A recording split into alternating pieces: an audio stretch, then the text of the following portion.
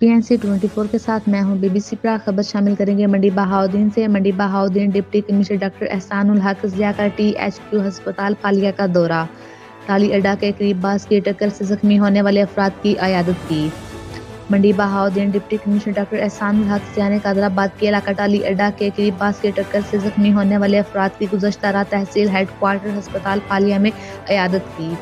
گزشتہ رات ٹالی اڈا کے قریب مہدی کی تقریب کے لیے جانے والے افراد کو مسافر بس نے کچل ڈالا تھا، جس میں آٹھ افراد جاں بھاگ اور متعدد زخمی ہو گئے تھے، جنہیں حادثے کے بعد ہسپتال منتقل کر دیا گیا تھا۔ Deputy commissioner T H Q ہسپتال میں زخمیوں کی عیادت کی۔